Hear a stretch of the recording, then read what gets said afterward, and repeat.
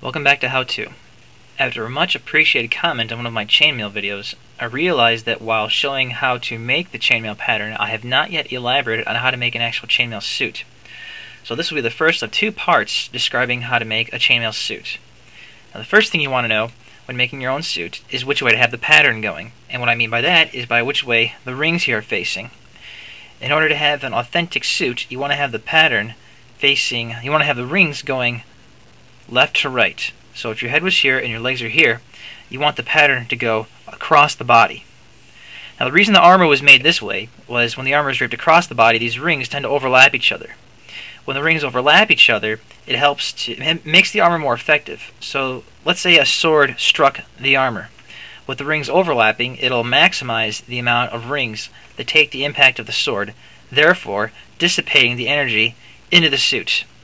Now, if you lay your pattern the wrong way, up and down the body, instead of having your uh, rings overlap like this, they'll stretch apart. It'll leave these large gaps. This makes the armor less effective.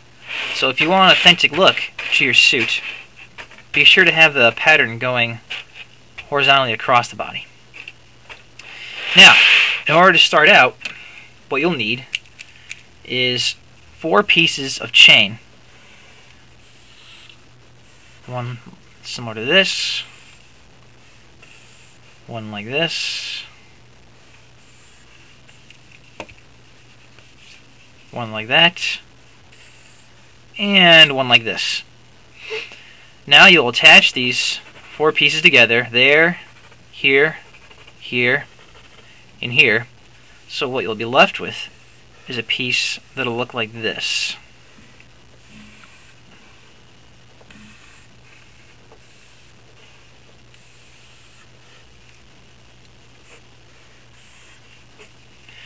This hole here would be for your head.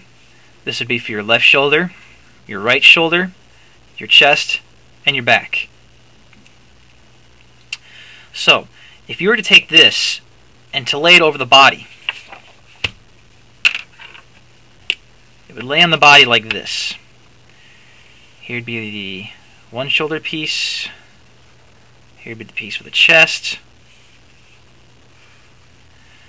The other shoulder piece and the hole for the head.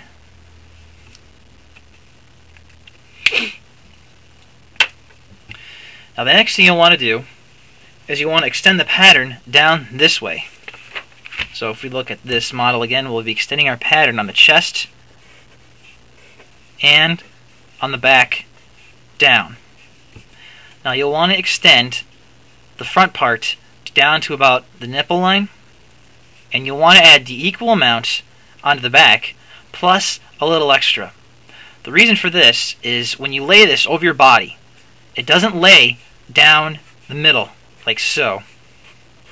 It'll actually lay off to this. It'll actually uh, the suit will slide forward like this, so that the back of your neck will be resting on the back of the chain. This is just because of the orientation of your body. So you want to make sure you add a few rows, extra rows onto the back.